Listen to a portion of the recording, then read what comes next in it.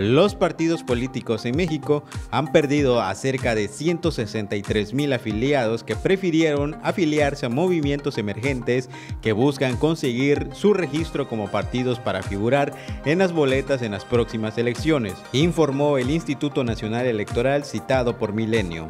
Dicha pérdida se suma a los más de 10 millones de militantes que los siete partidos políticos no lograron retener, de acuerdo con un reporte del Instituto Nacional Electoral en el último año fueron canceladas 162.955 filiaciones en los partidos paramilitar en otros. El partido más afectado fue el PRI, cuyo padrón de afiliados se redujo en 76.540 ciudadanos. El último reporte de afiliados publicado por el INE en 2017 colocaba al partido tricolor en segundo lugar en la lista de afiliados con 6.368.763 ciudadanos registrados.